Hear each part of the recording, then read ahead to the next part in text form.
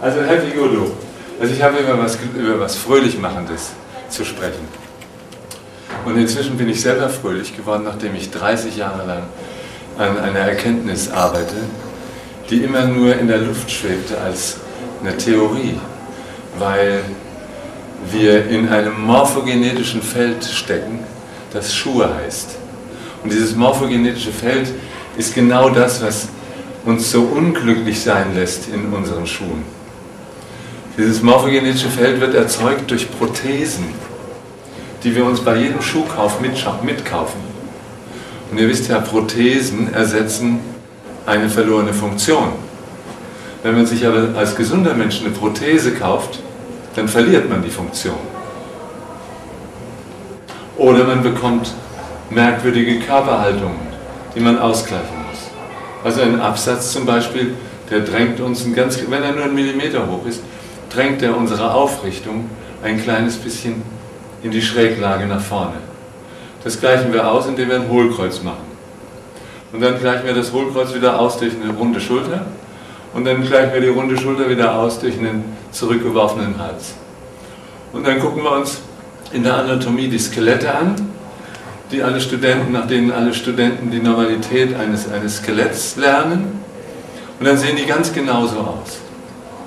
Und dann überzeugen wir uns sozusagen durch den Fehler von, davon, dass der Fehler kein Fehler ist, sondern die Normalität. Und in dieser Normalität laufen wir alle rum.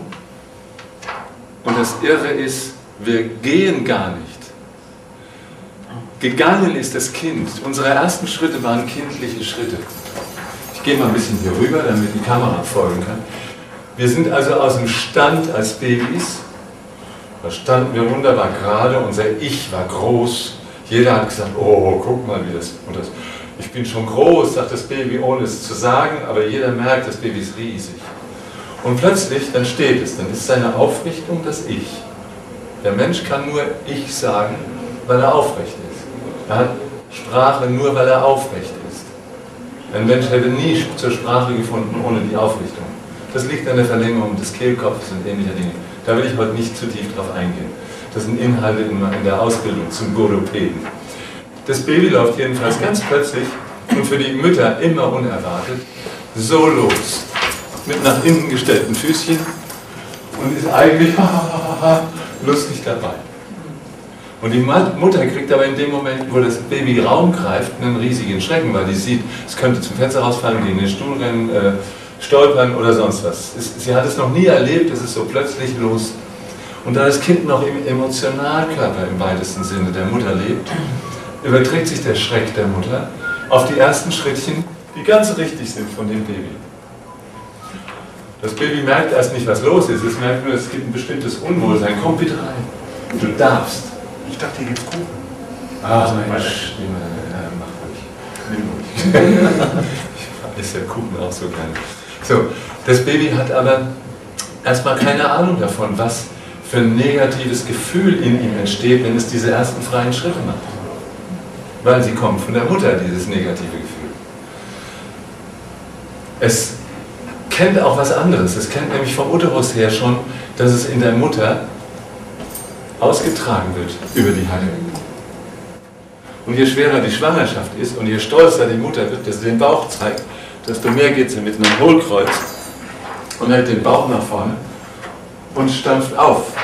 Das Kind kriegt dieses Stampfen mit ab der 16. Woche. Da ist nämlich das Gehör, das Gleich, der Gleichgewichtssinn und der Schwerkraftsinn ausgereift. Als erste Sinnesorganisation im Menschen. Ja. Und äh, ist das ausgereift, so dass das Kind von der 16. Woche im Utero den, den Gang der Mutter wirklich auch hört. Vorher hat es den natürlich auch gespürt, aber jetzt hört es ihn.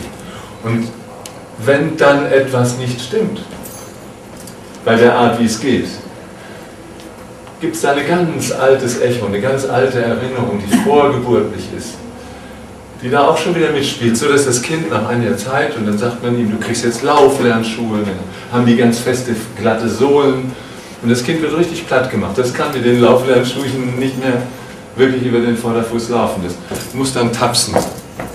Und Und vorher, weil man so stolz ist, dass das Kind laufen lernt, führt man es, bevor es überhaupt laufen kann, als Stehkind, führt man es schon zwischen den Beinen und bringt ihm bei, dass das Laufen so eine unilaterale Geschichte ist, als müssten wir so gehen. Wir gehen aber alle gar nicht so. Das wird ihm zu früh beigebracht, in einer Phase, in der das Kind noch Standfüße hat, noch gar nicht geht.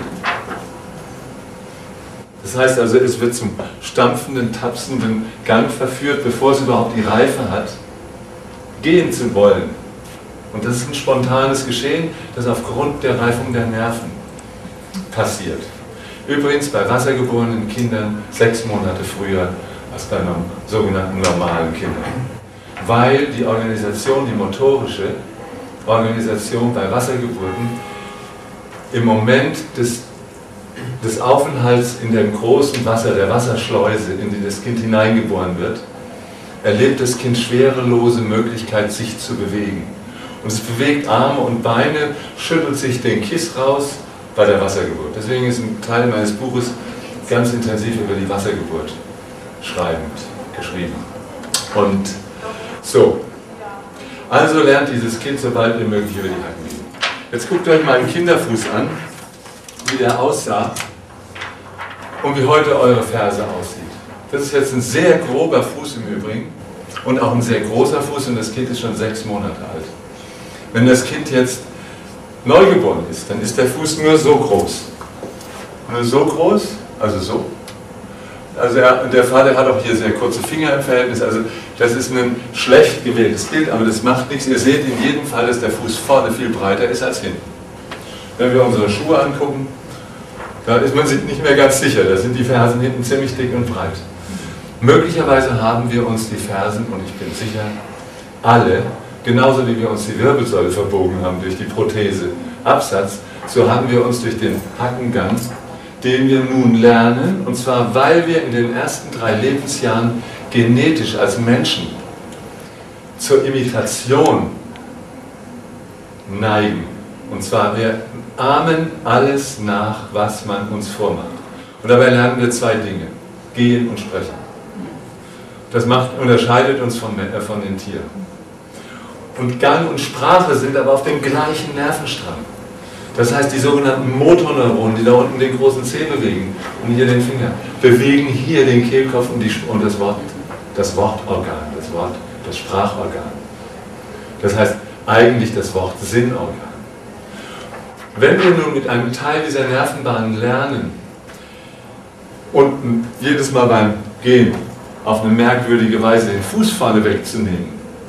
Was wir nirgends tun, wo wir auf der Stelle laufen, wenn wir uns drehen, wenn wir rückwärts gehen, seitwärts gehen, wenn wir Treppen steigen, wenn wir tanzen, wenn wir sprinten, wenn wir boxen, überall benutzen wir den Fuß ganz.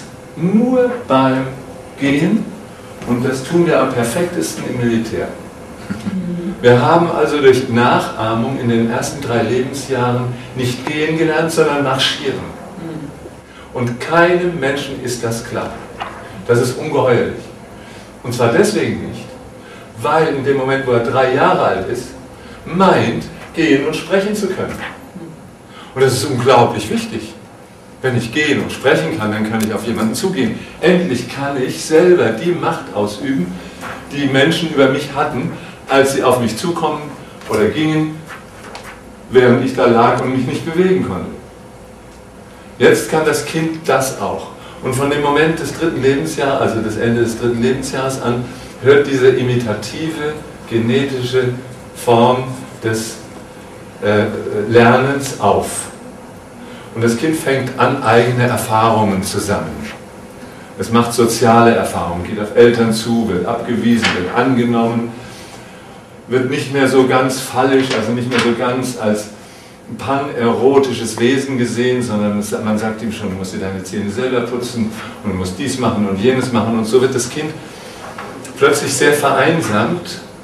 Und das Irre ist, dass, dass wir alle diese Kinder sind und dass wir nun mit einer Veränderung unserer natürlichen Bewegung unterwegs sind.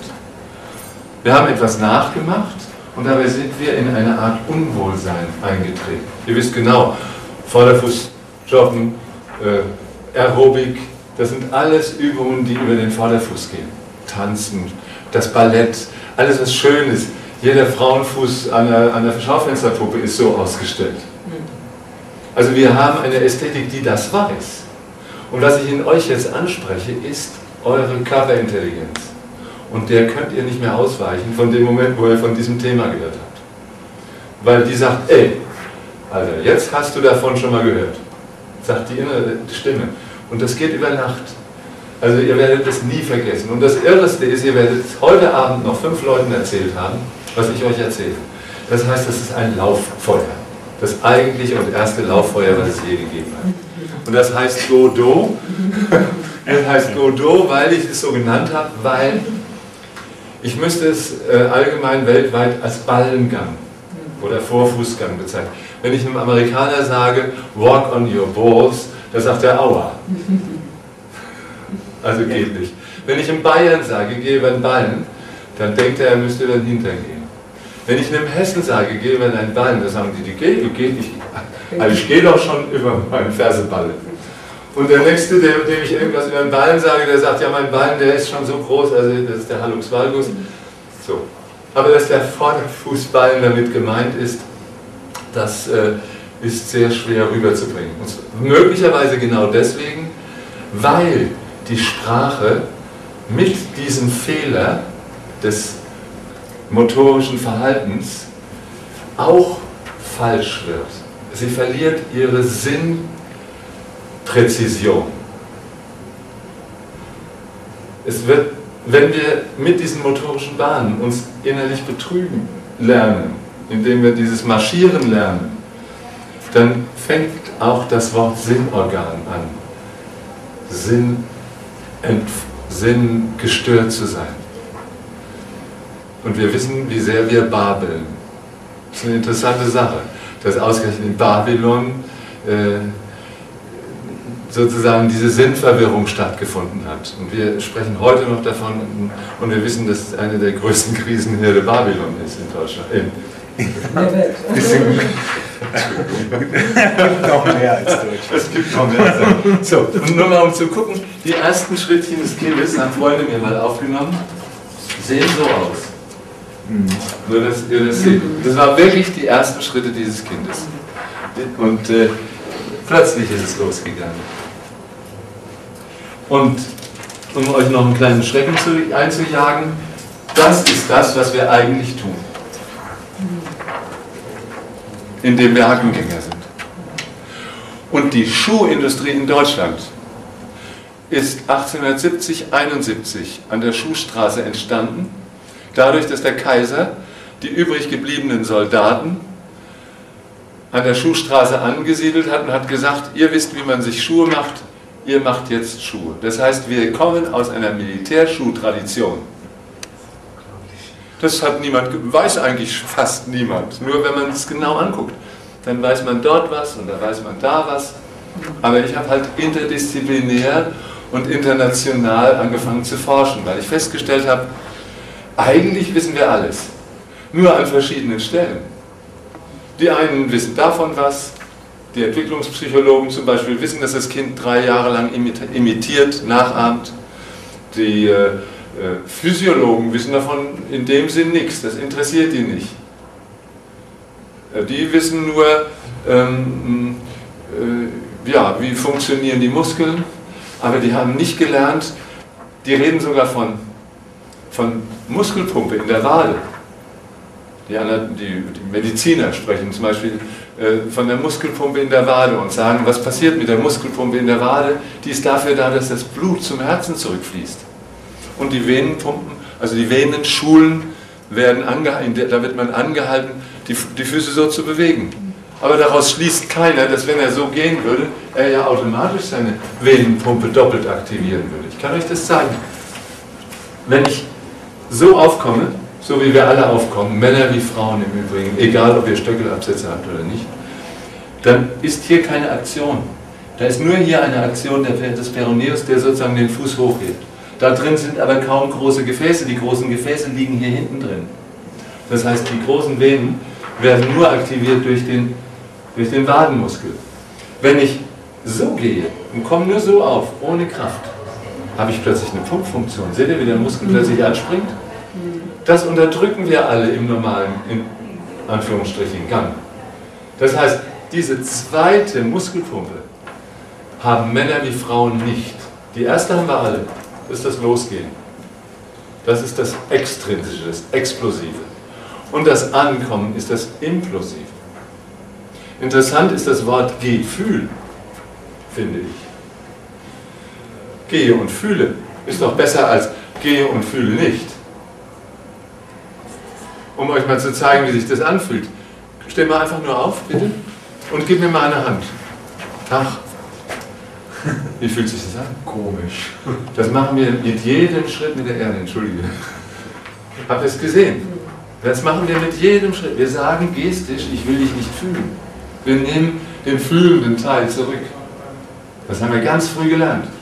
Und seitdem machen wir das unwillkürlich. Wir gehen aufeinander zu, wie die Ochsen. So, wenn ich auch anders auf dich zugehe, fühlt sich das ein anders an. Könnt ihr das fühlen? Merkt ihr den Unterschied? Wir, wir können das nachher mal draußen üben, falls wir die Zeit dazu haben. Ich will euch so viel wie möglich an Informationen geben, damit ihr auch weitersprechen könnt darüber. Und damit ihr auch begreift, warum es so wichtig war für mich, diese Schuhe herzustellen. Keiner wollte sie machen, weil die Schuhindustrie hat erstmal geglaubt, wir kommen von Vorsicht Kamera. Weil so eine Idee, ein Schuh, den man so rumgeht, das haben die für vollkommen unmöglich gehalten. Die haben gedacht, jetzt, und da die Schuhindustrie gerade am Sterben war in der Schuhstraße, äh, also die, die, sind alle kurz vor Liquidation gewesen, aber wir sind natürlich zu einer Firma gelaufen, die noch ging.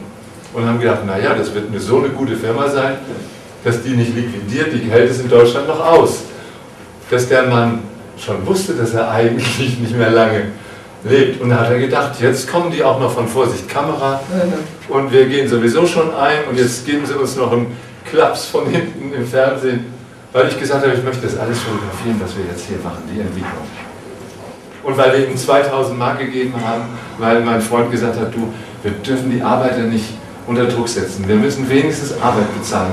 Und wir zeigen denen unseren guten Willen. Das hatten die noch nie erlebt, dass jemand ihnen 2000 Mark gibt, bevor sie in der Arbeit geleistet hatten. Da haben sie erst recht gedacht, wir kommen von Vorsicht Kamera. Das ging anderthalb Jahre, bis wir dahinter gekommen sind. Warum das irgendwie dauernd nicht weiterging. Warum die eine Form gebaut haben, die nicht die war, die wir wollten. Und so weiter. Also es war eine komische Geschichte.